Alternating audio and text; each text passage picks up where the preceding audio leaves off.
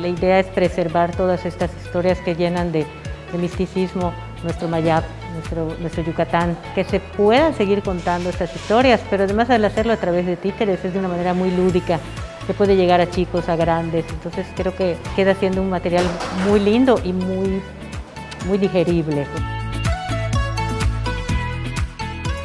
Esta casa hogar es para niñas menores, adolescentes que se encuentren en, situación de riesgo y vulnerabilidad.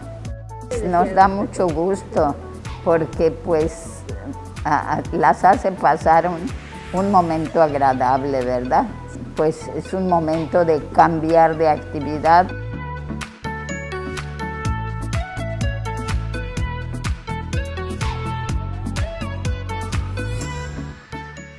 Juntos transformemos Yucatán, Gobierno del Estado.